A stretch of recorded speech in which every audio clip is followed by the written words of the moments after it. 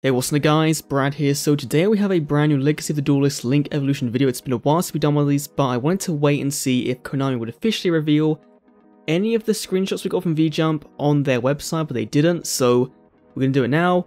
Knowing my luck, the day I scheduled this for, they're going to bring official screenshots out, so I do apologize if that's happened already, but we have a lot of news to go through regarding Legacy of the Duelist Link Evolution, which you may have seen on my community tab, but we have more concrete information as well as uh, some speculation as to exactly where the card pool for this game cuts off now because it could be going even further than we once thought. So uh, let's dive right in, take a look at the news, and yeah, if you enjoy the video and want to stay up to date on all the latest Legacy Duelist Link Evolution news, hit that sub button down below, almost hitting 30k, which is kind of insane. So yeah, let's dive right in. So first up, the main news we got is that the game is going to be releasing in spring 2020 in Japan, that's the PS4, Xbox One, PC version, and the update. Now, in Japan, spring is basically from uh, March 25th through to June 22nd. I think it's around that date, and so, to me, don't expect it in March and don't expect it in April, because, first of all,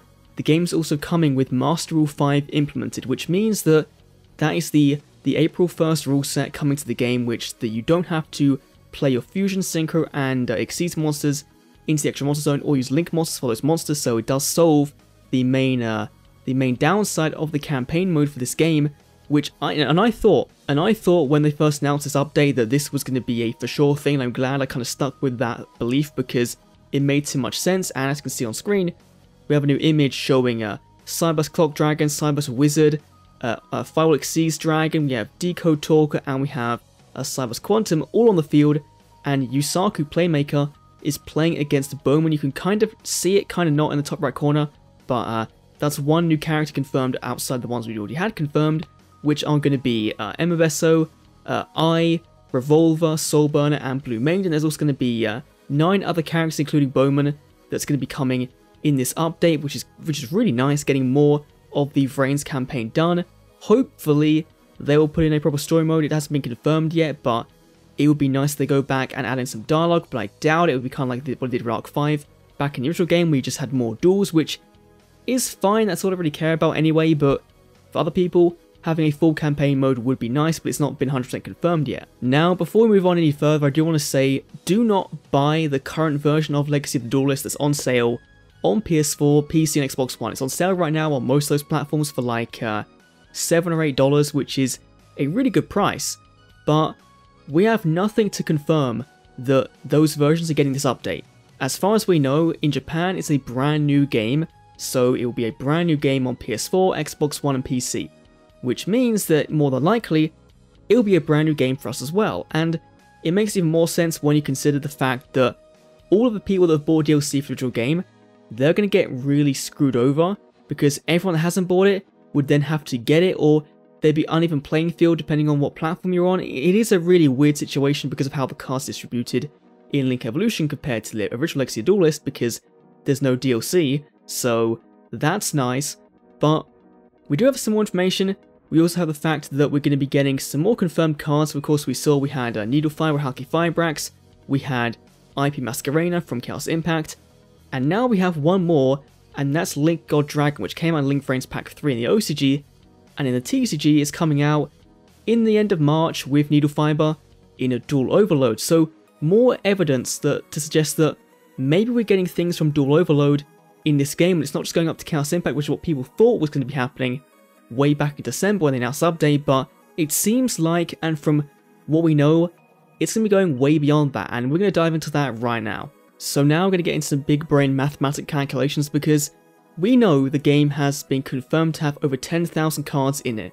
We also know the game is based on the TCG, in the only cards released in both the TCG and the OCG are in the game, which is why we haven't had things like some of the dangers or the OCG didn't get Needle Fiber back in the day because there had to be a set uh, parity between the two releases, and so with that information, we can calculate every new card from the new sets that have come out since uh, since Legacy of the Duelist originally came out, and get to as close to 10k as possible. So when the game first came out, we had 9,106 cards in the game, which included 3 TCG Link monsters, which is fine.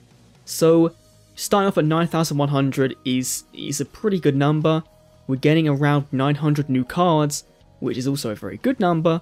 So then we start to go through the year, and I've got a very, very badly, you know, WordPad document on screen right now, uh, just going through all this stuff, and we go from like Shadows and Valhalla to have 5 imports, then Legend of Duelist 4, which was the set that had the Harpy monsters, the trains, that kind of thing, that was 26 new cards.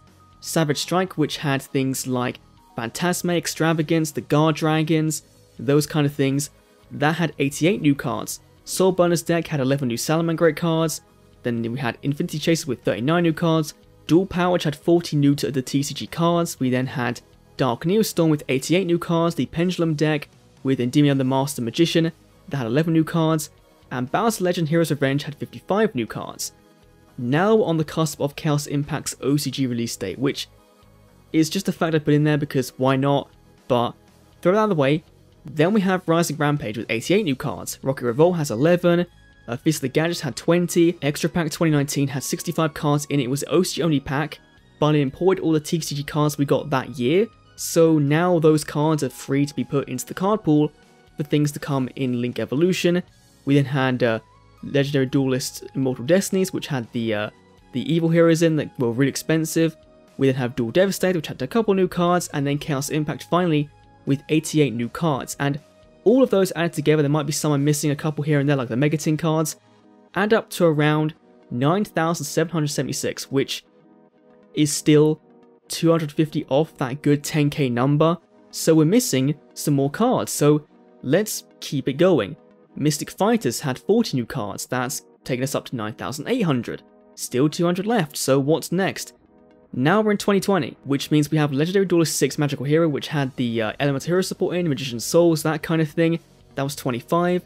Ignition Assault, the newest set that just came out, that had 88. The Shaddoll Showdown Structure deck had 11 new cards, and Duel Overload, which has Needle Link God Dragon, and a ton of new imports into the TCG and OCG, that had 56 new cards, it will have 56 new cards in it when it comes out at the end of March, and that takes us up to 9,998 new cards, plus the remaining cards from like the Megatins, takes you to around 10,004 cards in the game, which, um, I think that's solid proof as any that we're going to be getting a, uh, a good chunk of what is current in the TCG in this game. This will be the most up-to-date game when it comes when an update comes out by a long shot. Because the original Legacy of Duelists, that one was, depending on when you bought the game, between 6 months and a year out of date, which is kind of insane. This one with Master Rule 5, with Master Rule 5, with the fact that all the product they've released before that should be in the game, that makes a lot of sense, doesn't it? That anything before Master Rule 5 would be in this game.